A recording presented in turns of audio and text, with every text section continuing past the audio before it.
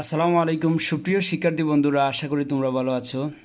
লকডাউনের কারণে আজকে সকালেই সিদ্ধান্ত নিয়েছি ম্যাজিক আইসিটি মজা নামে এই চ্যানেলটি তৈরি করে ইউটিউব চ্যানেল তোমাদেরকে আমি পাঠদান করব আইসিটি বিষয়ে এইচএসসি আইসিটি বিষয়ে। তো তোমরা অনেকে হয়তোবা থার্ড চ্যাপ্টার আইসিটির তৃতীয় অধ্যায় নাম্বার সিস্টেম নিয়ে অনেক চিন্তিত থাকো। তো স্কুল কলেজ বন্ধ থাকার কারণে আমি অনলাইন ভিত্তিক প্রথম ক্লাসে তোমাদেরকে স্বাগতম জানাচ্ছি।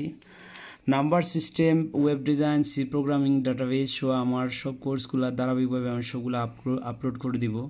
তোমরা আমার চ্যানেলটি যারা সাবস্ক্রাইব করো নাই সাবস্ক্রাইব করে রাখিও। আমরা মূল পয়েন্টে চলে যাই সুপ্রিয় শিক্ষার্থীদের নাম্বার সিস্টেম তো নাম্বার সিস্টেম কি? নাম্বার সিস্টেম হচ্ছে সংখ্যা, লিখা ও প্রকাশ করার মাধ্যমে হচ্ছে সংখ্যা, লিখা, প্রকাশ করা। ইত্যাদির সিস্টেম বা পদ্ধতি হচ্ছে নাম্বার সিস্টেম তো নাম্বার সিস্টেম কি, কোথা থেকে শুরু হয়েছে এটা কীভাবে ডেসিমেল বাইনারিতে রূপান্তর হলো তোমরা টেক্সট বইতে দেখে নিও। আমরা টেকনিক্যালি যেগুলো টিচার ছাড়া সম্ভব নয়, সেগুলো আমরা তুলে ধরবো এখানে। আমরা আমরা অনেকে জানি যে নাম্বার সিস্টেম হচ্ছে দুই ধরনের। একটি হচ্ছে পজিশনাল আমি একটু স্পিডে লিখব তোমরা দেখে নিও। একটি হচ্ছে পজিশনাল আর একটি হচ্ছে নন পজিশনাল নন পজিশনাল তো পজিশনাল হচ্ছে, যার বাংলা অর্থ হচ্ছে স্থানিক সংখ্যা পদ্ধতি, আর নন পজিশনালের বাংলা অর্থ হচ্ছে অস্থানিক সংখ্যা পদ্ধতি। সো স্থানিক সংখ্যা পদ্ধতি, অস্থানিক সংখ্যা পদ্ধতির সংখ্যাগুলা দেওয়ার আগে আমি একটি এক্সাম্পল দিলেই তোমরা তোমরা, তোমাদের পক্ষ থেকে তোমরা সংখ্যা দিতে পারবে। যেমন ধরো আমি এখানে লিখলাম টুয়েলভ এটার স্থানীয় মান হবে একক আর এটার স্থানীয় মান হবে দশক। তো যেটা আমরা প্রাইমারিতে যখন পড়ছিলাম, তখন আমরা তখনই আমরা এগুলো জেনেছি যে একক দশক দশের কোটায় পড়েছে কারণ এইটা হচ্ছে বারো।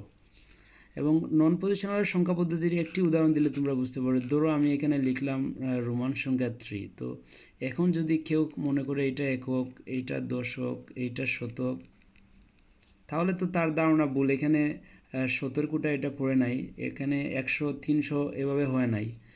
এখানে তিন হয়েছে, সুতরাং এটার পজিশন নেই, এটার স্থানীয় মান নেই। স্থানীয় মান যে সংখ্যার থাকে না, তাকে বলা হয় নন পজিশনাল আর যার স্থানীয় মান থাকে, তাকে বলা হয় পজিশনাল বা স্থানিক সংখ্যা পদ্ধতি। আশা করি তোমরা পজিশনাল ও নন পজিশনাল সংখ্যা পদ্ধতি সম্পর্কে জ্ঞাত হয়েছ।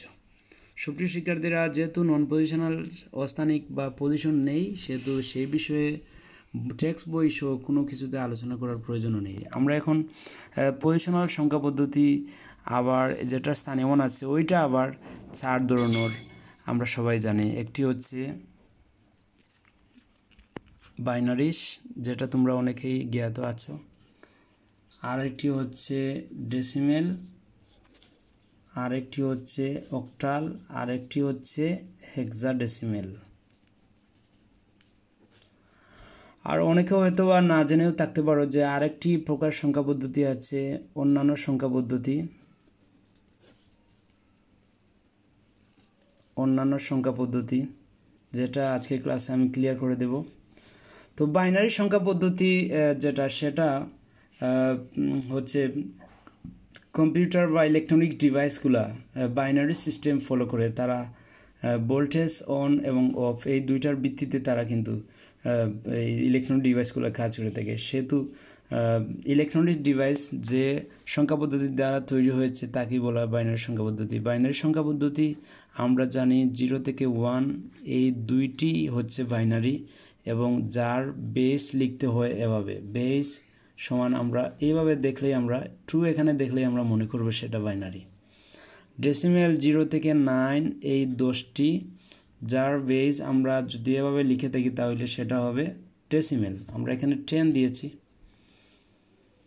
এবং জিরো থেকে সেভেন এই আট, আটটা আমরা বাংলা লিখলাম কারণ ফোর আর এইটের মধ্যে অনেক সময় জামলা তৈরি হয়। আট, এখানে আমরা এইট দিলাম।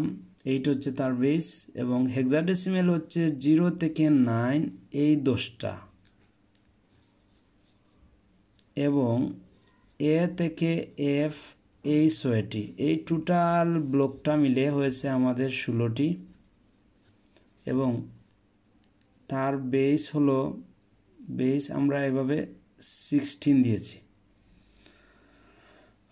এই হচ্ছে আমাদের বাইনারি ডেসিমেল অক্টাল এবং হাংজার ডেসিমেল আমরা সংজ্ঞাও এখান থেকে শিখে নিলাম। জিরো থেকে ওয়ান এই দুইটি সংখ্যাকে বাইনারি জিরো থেকে নাইন দশটি জিরো থেকে এইট সেভেন টোটাল আটটি সংখ্যাকে অক্টাল হেক্সার ডেসিমেল এইভাবে আমরা সংজ্ঞা আসলেই আমরা দিতে পারব। অন্যান্য সংখ্যা পদ্ধতি অনেকে না জানলেও আজকে জেনে নিবে যে অন্যান্য সংখ্যা পদ্ধতি যেমন ধরো এই চারটি সংখ্যা বাদ দিয়ে আমরা তিন ভিত্তিক সংখ্যা পদ্ধতি কি? তিন ভিত্তিক সংখ্যা পদ্ধতি, যার বেস আমরা এভাবে লিখতে পারি থ্রি এবং সংখ্যাগুলো দ্বারা জিরো থেকে টু। এখানে এখানে কী কী আছে? জিরো, ওয়ান, টু, এই তিনটা। সেই জন্য আমি থ্রি বেস দিয়েছি। চার ভিত্তিক সংখ্যা পদ্ধতি, জিরো থেকে থ্রি টোটাল হচ্ছে চারটি। সেই জন্য আমরা চার দিয়েছি। জিরো থেকে ফোর। আশা করি তোমরা আমার আর শেখানোর দরকার নাই, তোমরা বুঝতে পেরেছ এখানে। এবং জিরো থেকে ফাইভ এই হচ্ছে ছয় ভিত্তিক সংখ্যা পদ্ধতি। জিরো থেকে জিরো থেকে সেভেন এই হচ্ছে সাত ভিত্তিক সংখ্যা পদ্ধতি। জিরো থেকে এইট তো আমরা অক্টালে আগেই পেয়েছি। এই যে অক্টালে আমরা আগেই পেয়েছি, জিরো থেকে সেভেন এইটা হচ্ছে অক্টাল সুতরাং আমরা এখানে জিরো থেকে নাইন জিরো থেকে এইট এখানে জিরো একটি, আর এখানে ওয়ান থেকে এইট পর্যন্ত তো আটটি আছে, সুতরাং নয়টি। এই হচ্ছে নয় ভিত্তিক সংখ্যা পদ্ধতি। আর দশ ভিত্তিক তো আমরা পেয়েছি, এখানে ডেসিমেলেই আছে দুই ভিত্তিক তো এখানেই আছে আট ভিত্তিক এখানে আছে। এইভাবে আমরা সংখ্যা পদ্ধতিগুলো, অন্যান্য সংখ্যা পদ্ধতি আমরা জানলাম। তো সুপ্রিয় শিক্ষার্থীরা, আজকের এই ক্লাসে আমরা যতটুকু জানলাম যে নাম্বার সিস্টেম কীভাবে বাঘ হয়েছে, তারপরে পজিশনাল থেকে কীভাবে বের হয়েছে আবার অস্থানিক সংখ্যা পদ্ধতি কী?